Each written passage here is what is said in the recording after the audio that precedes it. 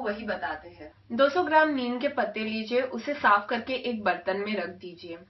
फिर आधा लीटर पानी उबालने के लिए डाल दीजिए। जैसे ही पानी उबालना चालू हो जाए, उसमें ये नीम के पत्ते डाल दीजिए। फिर उसमें तीन दाने इलायची के थोड़ा सा पुदीना डाल दीजिए। उसके बाद दालचीनी और चार लौंग डाल दीजिए।